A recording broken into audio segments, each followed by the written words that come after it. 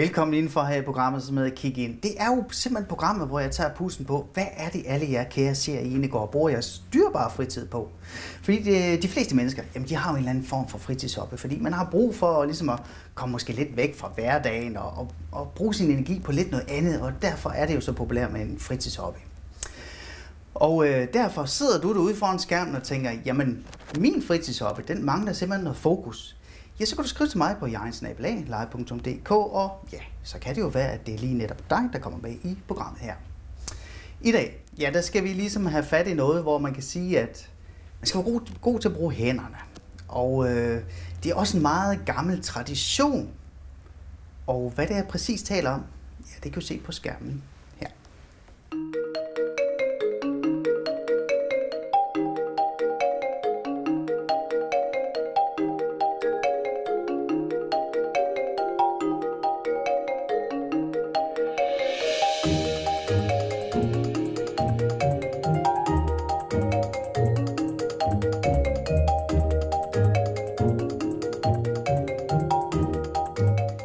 Jeg nok kan se, så er det jo pileflet, vi skal i gang i. Og det er jo en, en gammel tradition, og, og det er jo selvfølgelig også vigtigt at, at bevare sådan en tradition.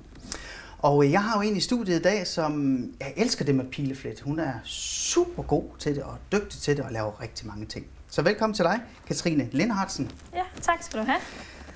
Det her med pileflet, øhm, hvordan kom du ligesom ind i det i sin tid? Altså, du har jo faktisk 10 år på banen med det her, ikke? Jo. Jamen, øh, det startede egentlig dengang, at jeg ja, 13 år, hvor jeg øh, har en tante, der er fletter, og hun har et pileværksted, og øh, hun holder kurser og går på markedet. Sådan der begynder jeg egentlig at blive ja, ansat ud ved hende, kan man sige. Og jeg begynder at komme derud og begynder at flække krammerhus med hende meget små ting, og hjælper hende i gang med, i gang med hendes værksted derude, og hjælper der til. Mm. Og så kommer jeg egentlig på kursus ved hende og lærer at flette der. Det startede selvfølgelig helt små, og så har jeg bare været på kursus ved hende lige siden, og så efter nogle år, der blev jeg jo bedre til det selv, så jeg ikke behøvede kurser selv kunne sidde og udforske lidt deri. Så det startede øh, ja. dengang med at blive ansat ved hende. Men, men, men hvad var det lige, det fangede dig der første gang, at du så det?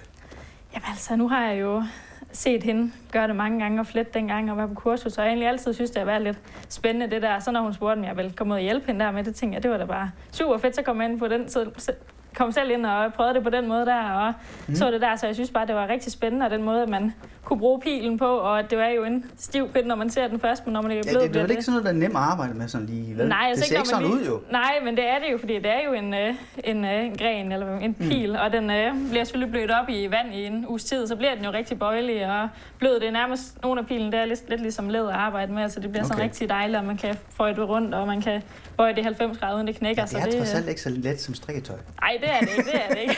det er det ikke. Men det er lidt, man skal have lidt træning i det også, så man skal lige kunne finde ud af, hvad man egentlig kan gøre med pilen, før den knækker, fordi det kan den jo selvfølgelig godt, selvom den er blødt op. Ja. Så man skal lige have lidt træning med, hvordan man øh, rører den hund rigtigt, og hvilke teknikker man kan bruge til at flette. Ja. Men det er øh, rigtig dejligt at arbejde med, når man kommer men, i gang men med det. Men som sagt, du har, har, har, gået i gang, eller du har været i gang med det i faktisk 10 år. Det er jo faktisk ja. lang tid øh, ja. for en hobby, så det, så, så du må jo være sådan noget rutineret i det efterhånden, ikke? Ja, det er jeg da også i de der klassiske kurve, kan man sige. Det der. der er jo altid noget, man begynder at udforske med her, begynder at lege lidt mere med det, og finde på mm. andre ting, man kan lave lidt, lidt egne idéer, man fører ud i livet. Ja. Men det er de der klassiske kurver, altså når det er jeg ved at sige rutineret i, jeg kan finde ud af at lave, uden at kigge ja. efter en bog. Ja. Så det er jeg, det vil jeg også. Øh. Men er du medlem af nogen pileforening så?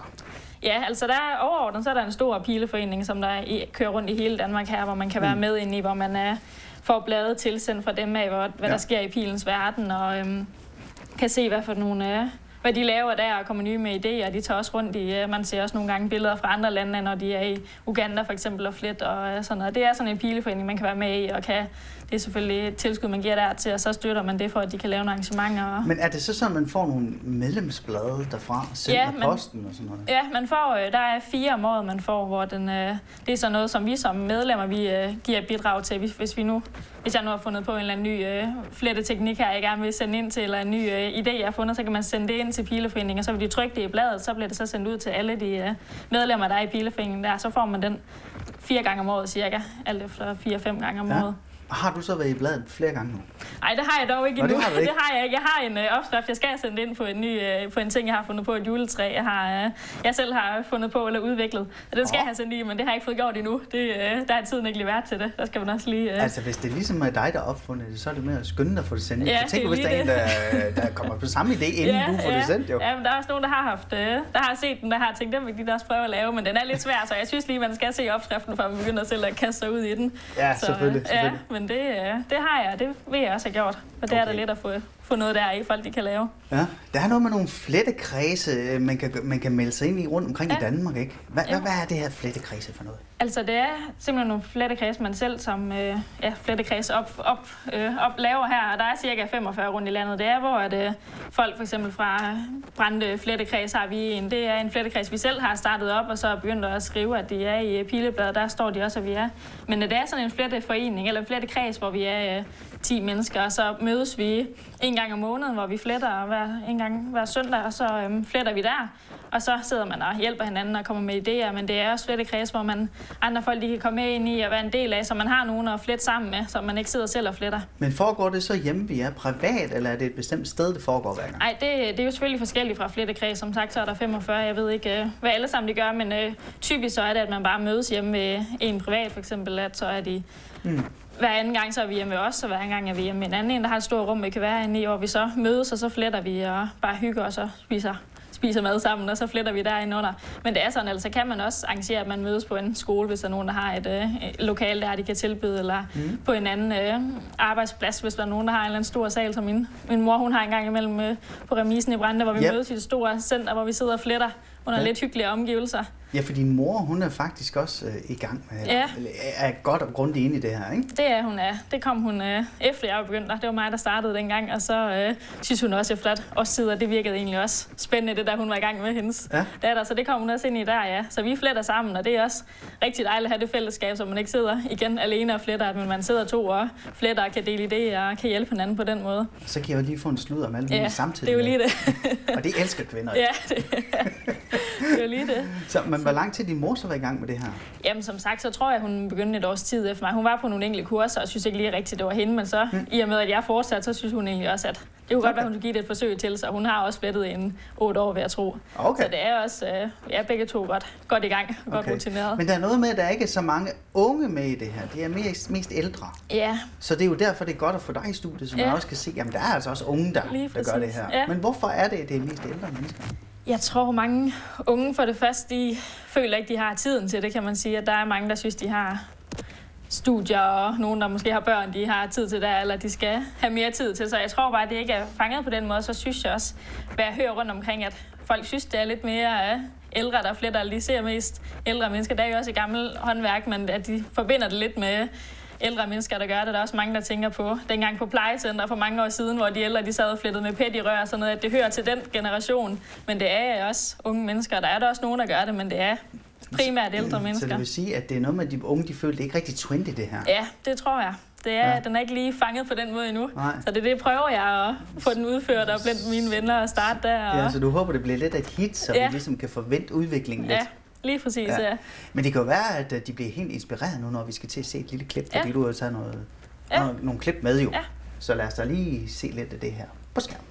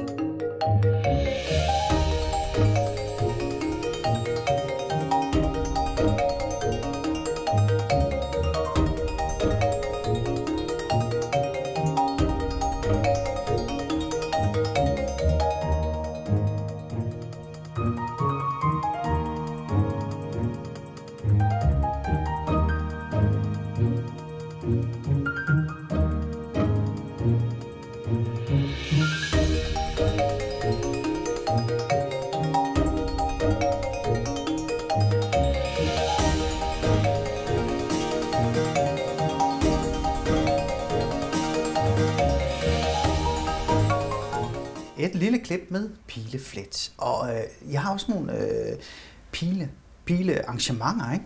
Ja. Hvad er det for noget? Altså, der er en masse forskellige arrangementer, blandt andet Pileforeningen også står en del af. For eksempel Pilefestivaler, der bliver holdt rundt omkring i, ja. i landet. Der er øhm, to store i, øh, på lejre, i Lejre på Sjælland, og så en i Vingsted, der er tæt ved Vejle.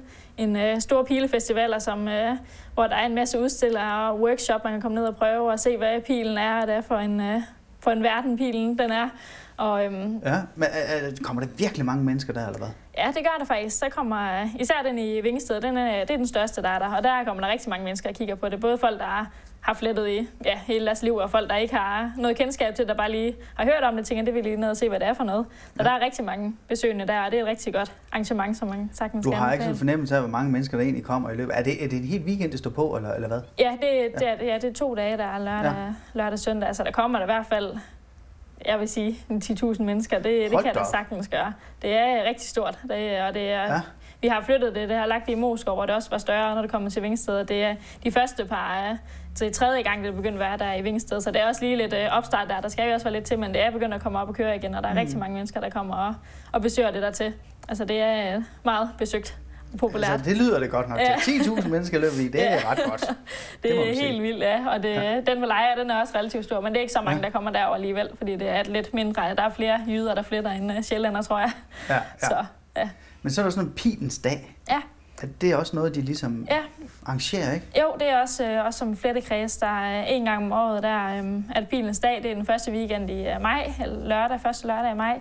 Det her år, der har vi så haft, at det er en hel øh, måned, der er været der for at få det lidt mere udbredt. Men det er så den første lørdag i maj, der er generelt er bilens dag, hvor der er en okay. hel dag, vi har dedikeret til bilens tegn, hvor man øh, også holder nogle markeder eller holder noget åbent hus, hvor folk kan komme ud og se, hvad der, laver, hvad, hvad der er, og prøve noget selv for eksempel. Det holder mm. vi som Grande Flettekreds, hvor folk de kan komme ud og se, hvad der er, og prøve kræfter af med at flette en øh, lurendrejer eller en vindspiral, som er nogle forskellige øh, flette teknikker, der er.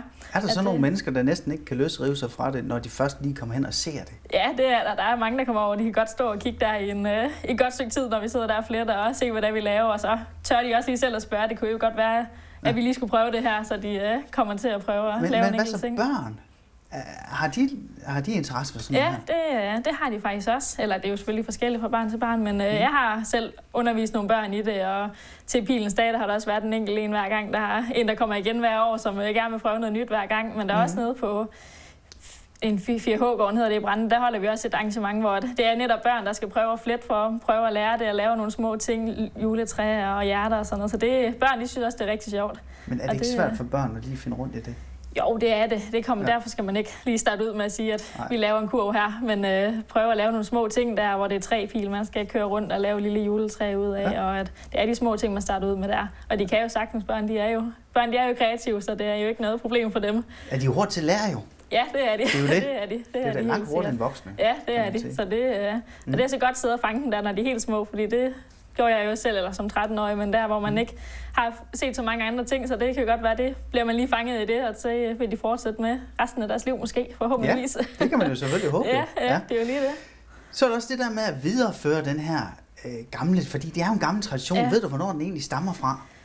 Nej, det gør jeg faktisk ikke, men Nej. det er, man ser i rigtig mange historiebøger fra mange år tilbage, sejlere mm. og folk, der har samlet bær. De har haft kurve, og det har jo ikke været, der var jo ikke plastikposer dengang, som der er i dag, så folk de har jo haft kurve, de har samlet bær i og været ude og samle uh, ting i, så det er en rigtig gammel, altså det er nærmest ældre end noget andet, kan man sige. De har ja. jo, uh, så det kan godt være, at det ikke har været pil, og så har det været andre materialer, de har brugt. Man mm. kan jo også bruge uh, andre grene fra træer, eller siv og sådan noget, man også bruger i andre lande.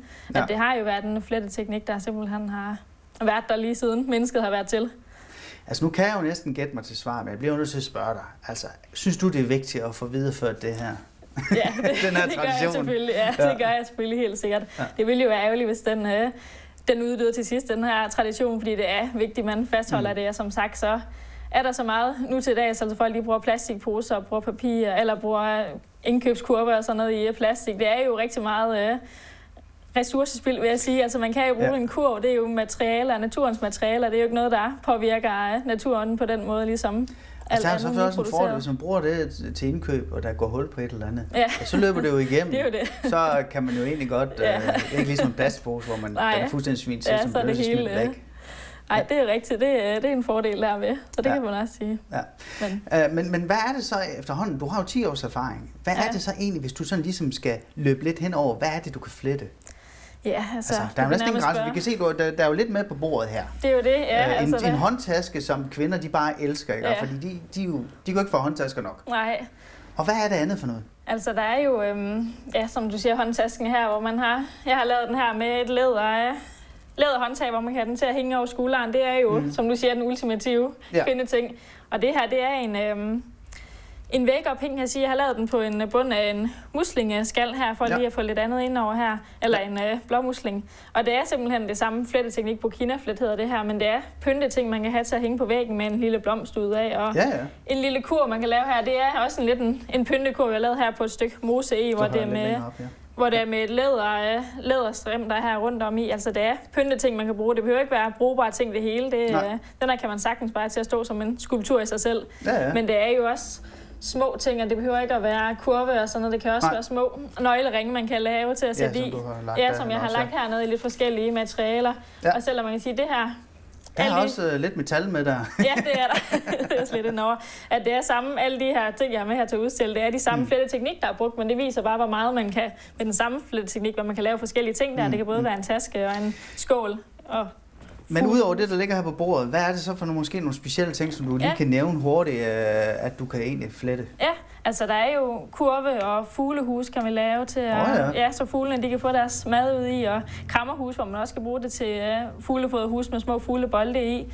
Men så er der også, øh, ja, rygsæk er der også nogen, der laver ud af det, eller kan lave. Det har jeg ikke selv haft prøvet kræfter med endnu. Det er en af de ting, jeg skal prøve her inden på den nærmeste fremtid, håber jeg. Ja. Men rygsække og... Ja, men det er jo nærmest, hvad kan man ikke lave? Der er jo øh, alle de muligheder, man kan næsten lave, lige hvad man har lyst til. Og du har nærmest opfundet dit eget juletræ. og sådan Ja, ja, det er jo det.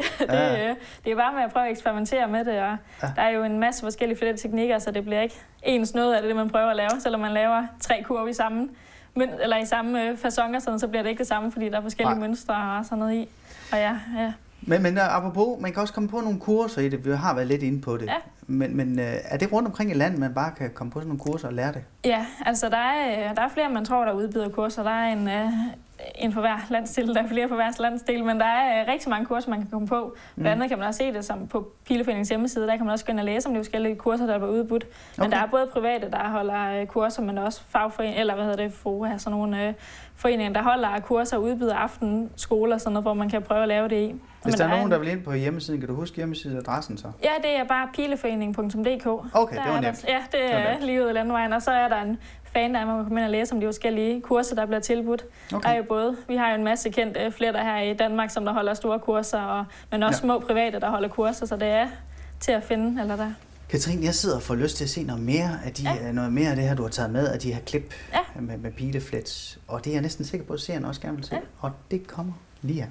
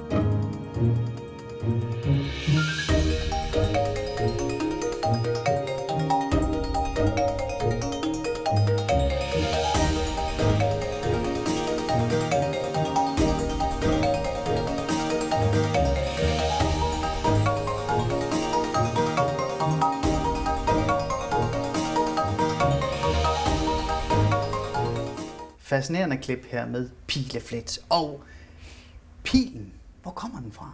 Ja. Altså pilen den kommer helt ud fra marken af, hvor man øh, har en pileplante, der er ud af en stup, så vokser der 20 pile ud derfra, man klipper, så det er, øh, kommer fra den der plante af, hvor man så skal ud, og hvis man selv har det, så skal man ud og høste den, og så tørre pilen. Og, og gør du gerne... selv det, eller hvad? Ja, vi har selv en pilemark. Vi, øh, den er ikke stor nok til at øh, alt, det, vi gerne, alt det, vi laver, fordi vi laver som sagt en del. Men øh, vi har selv en pilemark, hvor vi har været ude og plante den, og så tager den et år, så er den stor nok til at blive høstet her til det er vintertiden eller januar, man gør det. Okay. Og der høster vi den, så skal den gerne tørre. Den skal være helt knastør, før man begynder at bløde den op igen. Ellers så dur det ikke at flette med. Så det er også et no. års tid, den gerne skal stå der og tørre, for at den er helt gennemtør eller helt knastør. Okay. Og så skal den sådan set bare bløde op der, og så er den klar til at blive brugt. Men man kan mm. også rundt omkring, der er også rigtig mange, der forhandler pil, hvor man kan købe det fra, hvis man ikke selv har mulighederne for at ja. have en pilemark ude i baghaven. Det er ikke alle, der har det. Nej. Så der kan man også øh, købe det fra forskellige forhandlere, der har det, som mm. vi også selv benytter os af. Ja, ja.